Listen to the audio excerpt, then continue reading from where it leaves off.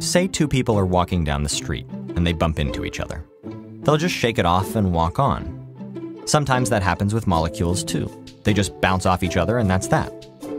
But what if two people were to bump into each other, and during that collision, one person's arm got severed and reattached to the other person's face? Now that sounds really weird, but it's similar to one of the many ways that molecules can react with each other. Two molecules can join and become one. One can split apart and become two. Molecules can switch parts. All these changes are chemical reactions, and we can see them happening around us. For example, when fireworks explode, or iron rusts, or milk goes bad, or people are born, grow old, die, and then decompose. But chemical reactions don't just happen willy nilly. Everything has to be right. First, the molecules have to hit each other in the right orientation. And second, they have to hit each other hard enough, in other words, with enough energy. Now, you're probably thinking that a reaction just happens in one direction and that's it. Sometimes that's true. For example, things can't unburn or unexplode. But most reactions can happen in both directions, forward and reverse. There's no reason that our face arm guy can't bump into armless girl, reattaching that arm back to its original socket. Now let's zoom out a bit.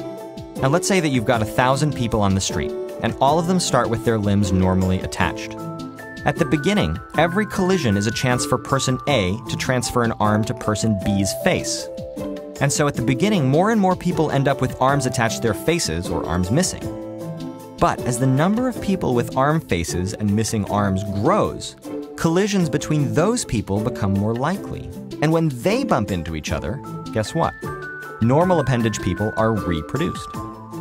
Now, the number of limb transfers per second forward will start high and then fall, and the number of limb transfers per second backward will start at zero and then rise. Eventually, they'll meet, they'll be the same.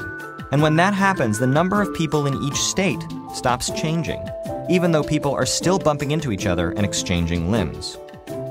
Now, how many people do you think there are in each state? Half and half, right?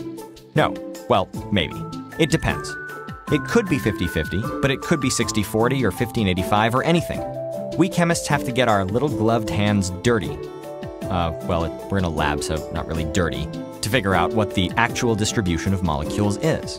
Even though each of these limb transfers is a pretty dramatic event for the people involved, if we zoom out, we see population numbers that don't change. We call this nirvana equilibrium, and it doesn't just happen with chemical reactions. Things like gene pools and highway traffic show the same pattern. It looks pretty still from 30,000 feet, but there is lots of crazy stuff happening on the ground. You just need to zoom in to see it.